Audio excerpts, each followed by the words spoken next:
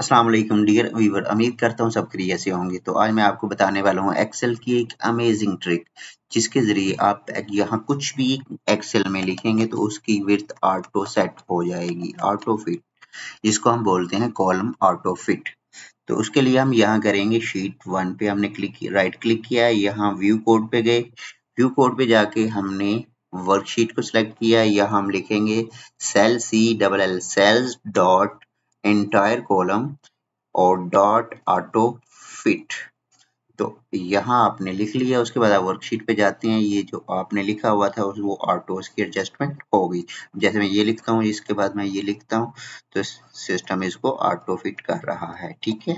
उम्मीद करता हूँ आपको ये वीडियो पसंद आई होगी। कमेंट सेक्शन में अपनी राय का ज़रूर इजहार कीजिए।